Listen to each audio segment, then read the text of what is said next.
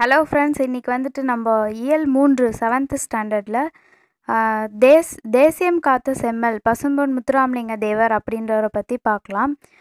இந்த லெசன் வந்து ரொம்ப ரொம்ப இம்பார்ட்டண்ட்டான லெசன் இந்த லெசன்லேருந்து கண்டிப்பாக எக்ஸாமுக்கு வந்து எப்படினாலும் எந்த எந்த எதனாவது ஒரு கொஷின் கேட்குறதுக்கு ஒன்று இல்லை ஒன் ஆர் டூ கொஷின் கண்டிப்பாக வர்றதுக்கு வந்து இந்த லெசனில் ரொம்ப சான்சஸ் அதிகமாக இருக்குது ஸோ அதனால் நீங்கள் எப்போ எக்ஸாம் போகிறதுனாலும் இந்த லெசனை வந்து ரிவைஸ் பண்ணாமல் மட்டும் போயிடாதீங்க. இந்த லெசனில் வந்து பார்த்திங்கன்னா நிறைய இயர்ஸ் வந்து கொடுத்துருப்பாங்க. நிறைய வருடங்கள் வந்து கொடுத்து அந்தந்த வருடம்லாம் முத்துராமலிங்க தேவர் என்னென்னலாம் பண்ணியிருந்தாரு அப்படின்றத பற்றி நிறைய சொல்லியிருப்பாங்க. அப்புறம் ஒரு சில தலைவர்கள்லாம் முத்துராமலிங்க தேவருக்கு என்ன சிறப்பு பெயர்லாம் கொடுத்துருக்காங்க அப்படின்றத பற்றியும் நிறைய இந்த லெசனில் சொல்லியிருப்பாங்க. இது வந்து கொஞ்சம் பெரிய லெசன் தான். ஆனால் படிக்கிறதுக்கு ஈஸியாக தான் இருக்கும். நீங்கள் ஆனால் எக்ஸாம் போகிறதுக்கு முன்னாடி கண்டிப்பாக இந்த லெசனை வந்து நல்லா ரிவைஸ் பண்ணிட்டு போகணும். ஏன்னா இயர் நிறையா இருக்கிறதுனால இந்த லெசனில் மோஸ்ட்லி வந்து இயர் கொஷின் வந்து கேட்குறதுக்கு நைன்ட்டி பர்சன்டேஜ் வந்து சான்ஸ் இருக்குது ஃப்ரெண்ட்ஸ் ஸோ இந்த லெசனில் நுழையும் முன்ன என்ன சொல்லியிருக்காங்க அப்படின்றது பார்க்கலாங்க. அதாவது ஜென்ரலாக தான் கொடுத்துருப்பாங்க நுழையும் முன்ன தன்னோட தொண்டால் வந்து மக்களோட உள்ளங்களை வந்து கவர்ந்த தலைவர்கள் நிறைய பேர் இருக்காங்க. நாட்டோட விடுதலைக்கு வந்து பாடுபட்டவங்க நிறைய பேர் இருக்காங்க. சமுதாய பணி செய்தவங்க பலர் இருக்கிறாங்க. அரசியல் பணி செய்தவங்க பலர் இருக்கிறாங்க. ஆனால் இவை அனைத்தையுமே வந்து ஒரு சார செய்து புகழ்பெற்ற தலைவர்கள் வந்து ஒரு சிலர் தான். அந்த ஒரு சிலர்களில் வந்து பார்த்திங்கன்னா தேசம் தேசியம் காத்த செம்மல் அதாவது பசுமன் முத்துராமங்க தேவரும் ஒருத்தர். அவரை பற்றி தான் இந்த லெசனில் ஃபுல்லாகவே நம்ம பார்க்க போகிறோம் ஜென்ரலாக கொடுத்துருக்காங்க. இதுலேருந்து கொஷின் எதுவும் இல்லை ஃப்ரெண்ட்ஸ் நெக்ஸ்ட்டு என்ன சொல்லியிருக்காங்கன்னா தேசியம் உடல் தெய்வீகம் உயிர் என கருதி மக்கள் தொண்டு செய்தவர் யார் அப்படின்னு பார்த்தீங்கன்னா பசும்பொன் உ முத்துராமலிங்க தேவர் தான். ஸோ இது கேட்க சான்ஸ் இருக்குது தேசியம் வந்து உடல் தெய்வீகம் வந்து உயிர் அப்படின்னு கருதி மக்கள் தொண்டு செய்தவர் யார் அப்படின்னு கேட்டாங்கன்னா பசும்பொன் முத்துராமலிங்க தேவர். இவர் வந்து பார்த்திங்கன்னா வீர அவரோட வீர பேச்சால் எத்தனையோ தியாகிகளையும் வேக பேச்சால் எத்தனையோ அருவாளியும் வந்து உருவாக்கியிருக்காரு அப்படின்னு சொல்லியிருக்காங்க. உண்மையை வந்து பார்த்திங்கன்னா இவர் வந்து மறைக்க மறைக்காமல் தைரியமாக வந்து துணிச்சலோடு வந்து வெளிப்படுத்திடுவார் எது உண்மைன்னு அவருக்கு படுதோ அது தைரியமாக அவர் வந்து வெளிப்படுத்திடுவார் அப்படின்னு சொல்லியிருக்காங்க. இந்த இந்த இது நோட் பண்ணிக்கோங்க ஃப்ரெண்ட்ஸ் இது ரொம்ப இம்பார்ட்டண்ட்டு சுத்த தியாகி என்று பசுமன் முத்துராமலிங்க தேவரை வந்து யார் சொன்னாங்க அப்படின்னு பார்த்தீங்கன்னா தந்தை பெரியாரால் தான் அவரை பாராட்டப்பட்டார். ஸோ சுத்த தியாகி என்று யாரால் பசுமன் முத்துராமலிங்க தேவர் பாராட்டப்பட்டார் அப்படின்னு பார்த்தீங்கன்னா தந்தை பெரியாரால் தான். இது எப்படி ஷார்ட்டாக ஹிண்ட்டாக ஞாபகம் வச்சுக்கலாம் அப்படின்னு பார்த்தீங்கன்னா இப்போ சுத்த தியாகி தியாகினா பெரிய இப்போ நம்மளோட வயது மூத்தவங்க எல்லாமே நிறைய தியாகம் செஞ்சுருப்பாங்க இல்லையா அவங்க வாழ்க்கையில்?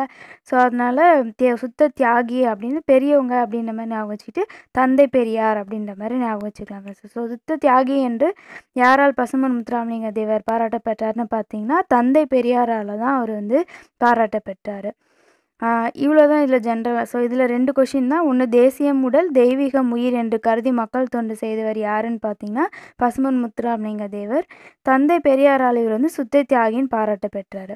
இவரோட இளமை காலம் பற்றி சொல்லியிருக்கிறாங்க. இதில் வந்து அவரோட படிப்பு அப்புறம் அவர் எங்கே பிறந்தார் அதுக்கப்புறம் அவரோட அப்பா அம்மா யார் அப்படின்றத பற்றி கொடுத்துருக்காங்க ஜென்ரலாக முத்துராமலிங்க தேவர் வந்து பார்த்திங்கன்னா ஆயிரத்தி தொள்ளாயிரத்தி எட்டாம் ஆண்டு முத்துராமலிங்க அக்டோபர் திங்கள் மா அக்டோபர் மாதம் வந்து முப்பதாம் தேதி வந்து ராமநாதபுரம் மாவட்டத்தில் வந்து பசும்பொன் என்னும் செல்வ செழிப்பு மிகுந்த குடும்பத்திலேருந்து பிறந்தார்னு சொல்லியிருக்காங்க ஸோ வருடம் பார்த்துக்கோங்க ஆயிரத்தி தொள்ளாயிரத்தி எட்டில் வந்து இவர் பிறந்திருக்காரு.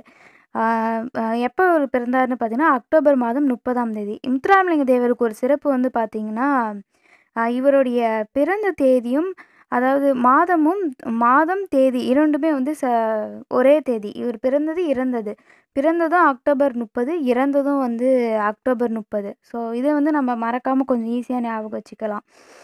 ஸோ அக்டோபர் மாதம் வந்து முப்பதாம் தேதி ராமநாதபுரம் மாவட்டத்தில் பசும்போன் அப்படின்ற ஊரில் தான் வந்து பிறந்திருக்காரு. இவரோட பெற்றோர் வந்து யார் அப்படின்னு பார்த்தீங்கன்னா உக்ரபாண்டி தேவர் இந்திராணி அம்மையார் அப்படின்றவங்க தான் இவரோட பெற்றோர். ஸோ பசுமன் முத்துராமலிங்க தேவரோட பெற்றோர் யாருன்னா உக்கிரபாண்டி தேவர் இந்திராணி அம்மையார் தான் இவரோட பெற்றோர். இவர் வந்து இளமையிலே பார்த்தீங்கன்னா அவரோட அன்னை இழந்துட்டார். ஸோ இஸ்லாமிய தாய் ஒருவரால் தான் வந்து இவர் பாலூட்டி வளர்க்க பெற்றார். முத்துராமலிங்க தேவர் வந்து அவருடைய தொடக்க கல்வியை வந்து கமுதியிலும் உயர்நிலை பள்ளியை வந்து மதுரை பசுமலை பள்ளியிலும் ராமநாதபுரத்திலையும் பயின்றார். அதாவது தொடக்கப்பள்ளி வந்து கமுதியில் படிச்சிருக்காரு. உயர்நிலை பள்ளி வந்து பார்த்திங்கன்னா மதுரையிலையும் மதுரையில் இருக்கக்கூடிய பசுமலை பள்ளியிலையும் ராமநாதபுரத்திலையும் வந்து பயின்றிருக்காரு. ராமநாதபுரத்தில் வந்து இவர் பயின்று கொண்டு இருக்கும்போது என்ன நடந்துச்சு அப்படின்னு பார்த்தீங்கன்னா அங்கே வந்து பிளேக் நோய் வந்து பரவி இருக்கு. ஸோ அந்த பிளேக் நோய் பரவியதுனால இவரோட படிப்பு வந்து பாதியிலே நின்றது. ஆனாலும் இவர் வந்து படிப்பு நின்றுச்சுன்னு இது பண்ணாமல் நிறைய நூல்கள்லாம் படித்து இவருடைய வந்து அறிவை வந்து வளர்த்துக்கிட்டாரு அப்படின்னு கொடுத்துருப்பாங்க. ஸோ இந்த பேராகிராஃபில் இம்பார்ட்டன்ட்டுன்னு பார்த்தீங்கன்னா அவருடைய பெற்றோர் வந்து உக்கிரபாண்டி தேவர் இந்திராணி அம்மையார்ன்றவங்க. அவர் வந்து பசும்பொன் அப்படின்ற ஒரு ராமநாதபுரம் ராமநாதபுரம் மாவட்டத்தில் இருக்கக்கூடிய பசும்பொன் அப்படின்ற ஊரில் அக்டோபர் முப்பதாம் தேதி ஆயிரத்தி தொள்ளாயிரத்தி எட்டாம் வருடம் வந்து பிறந்திருப்பார். ஸோ தொடக்க கல்வியை வந்து கமுதியிலும் உயர்நிலை கல்வியை வந்து மதுரையில் இருக்கக்கூடிய பசுமலை பள்ளியிலும் ராமநாதபுரத்திலும் பயின்றிருப்பார். எந்த நோய் பரவியதன் காரணமாக இவர் பள்ளி படிப்பை நிறுத்தினார்னு பார்த்தீங்கன்னா பிளேக் நோய் பரவியதன் காரணமாக. அவ்வளோதான் இந்த பேராகிராஃபில் கொஷின்னு கேட்குறதுக்கு சான்சஸ் இவர் வந்து பார்த்திங்கன்னா பல்துறை ஆற்றல் வந்து பெற்றிருக்காரு அப்படின்னு சொல்லியிருக்காங்க. முத்துராமலிங்க தேவர் வந்து பார்த்திங்கன்னா தமிழ் ஆங்கிலம் என இரு மொழிகளிலும் வந்து சொற்பொழிவு ஆற்றக்கூடிய திறன் கொண்டவராம். இவர் எந்தெந்த துறையெல்லாம் சிறந்து விளங்கியிருக்காரு அப்படின்னு பார்த்திங்கன்னா சிலம்பம் குதிரை ஏற்றம் துப்பாக்கி சுடுதல் ஜோதிடம் மருத்துவம். இது எப்படி ஷார்ட்டாக ஞாபகம் வச்சுக்கலாம்னா ஒருத்தவங்க வந்து சிலம்பம் விளாண்டுட்டு இருக்காங்க அப்படின்ற மாதிரி ஞாபகம் வச்சுக்கோங்க. ஸோ அந்த சிலம்பம் விளாண்டுட்டு இருக்கும்போது குதிரைக்கு வந்து கு- குதிரை வந்து அந்த வழியாக போகுது. போகும்போது ஒருத்தவங்க என்ன பண்ணிடுறாங்க அந்த குதிரையை வந்து துப்பாக்கியால் சுட்டுடுறாங்க அப்படின்ற மாதிரி ஞாபகம் வச்சுக்கோங்க. ஸோ துப்பாக்கியால் சுட்ட உடனே அந்த கு- அந்த குதிரைக்கு வந்து நேரம் சரியில்லை அப்படின்ற மாதிரி ஜோசியம் பார்க்குறாங்க. அதுக்கப்புறம் ஜோசியம் பார்த்துட்டு அதுக்கப்புறமா மருத்துவமனை கூட்டி போய் மருத்துவம் பண்ணுறாங்க அப்படின்ற மாதிரி சும்மா ஜா ஷார்ட்டாக சிம்பிளாக ஞாபகம் வச்சுக்கலாம். ஸோ சிலம்பம் வந்து விளையாண்டு கொண்டுட்டு இருக்காங்க. அப்போ வந்து அந்த வழியாக ஒரு குதிரை போகுது.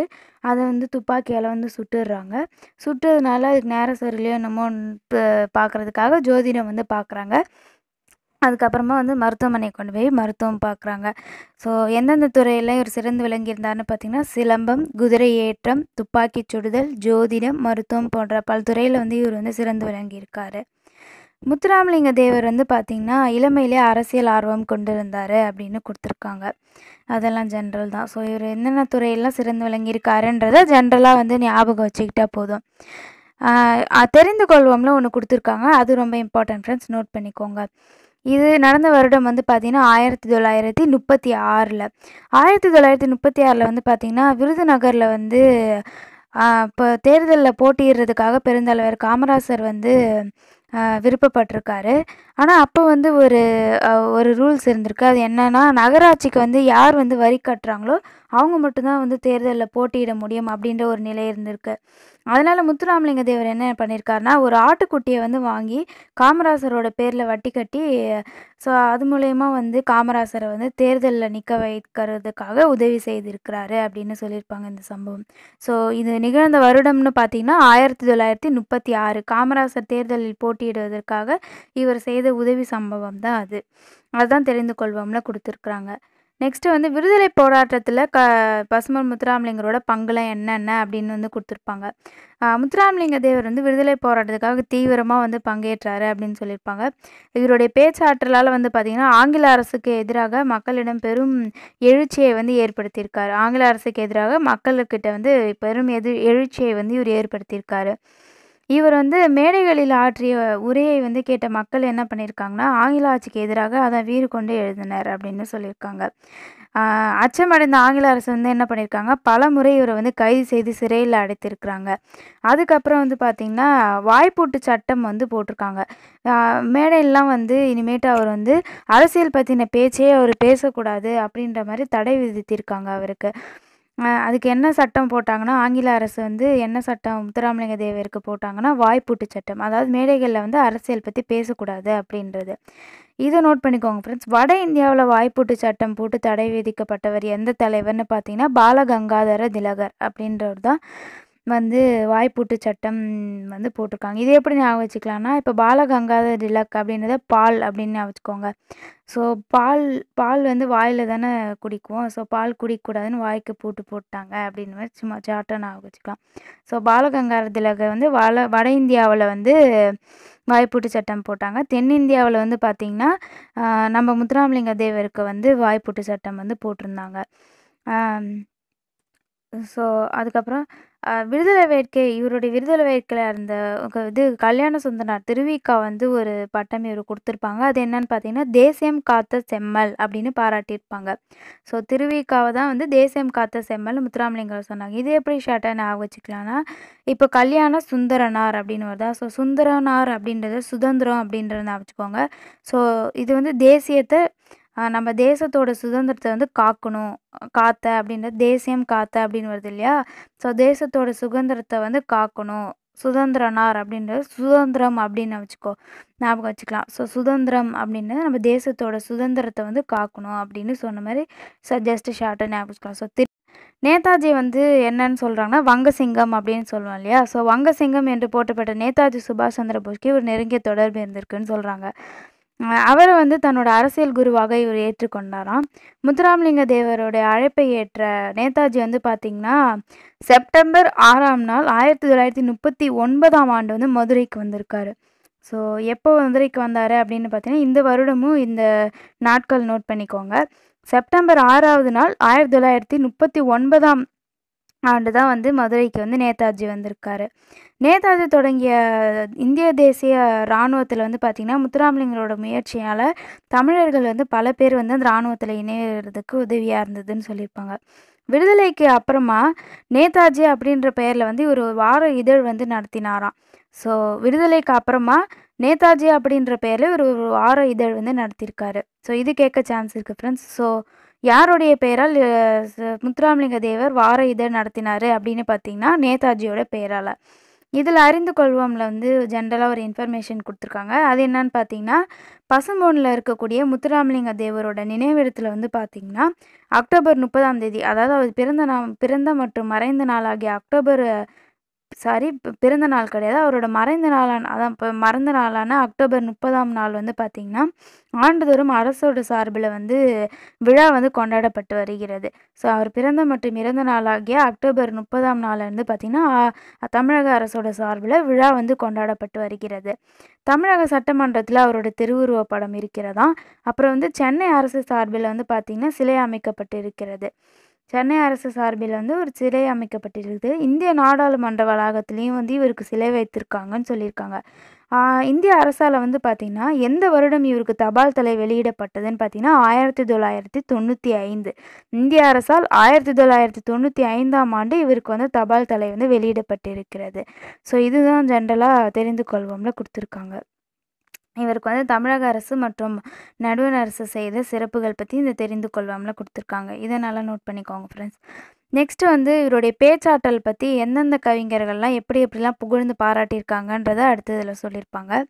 இவருடைய பேச்சாற்றல்னால வந்து அனைவரும் கவர்ந்திருக்காரு.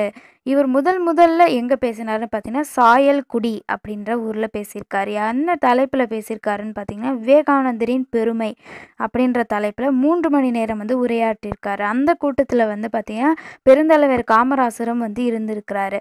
ஸோ முதல் முதலில் இவர் வந்து எங்கே வந்து உரையாற்றியிருக்காருன்னு பார்த்தீங்கன்னா, சாயல்குடி அப்படின்ற ஊர் சாயல்குடின்ற ஊரில் விவேகானந்தரின் பெருமைன்ற பெயரில் தலைப்பில் மூன்று மணி நேரம் பேசியிருக்காரு.